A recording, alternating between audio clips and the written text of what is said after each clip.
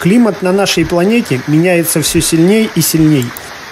И все чаще метеорологи фиксируют явления погоды не только не характерные для какой-либо местности, но еще и необычайно сильные. Яркий пример этому – недавние сильные ливневые дожди с крупным и обильным градом, прошедшие 25 ноября 2021 года в одной из провинций Южноафриканской Республики, характеризующиеся своим засушливым климатом.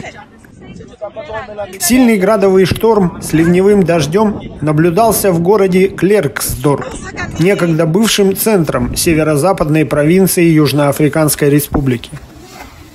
На кадрах видно, что обильный град укрыл землю слоем, высота которого кое-где достигала нескольких десятков сантиметров. А улицы и дворы превратились в бурные ледяные реки, по которым плыли массы града, напоминающие льдины. При этом в некоторых районах города размер градин достигал 3-4 сантиметров.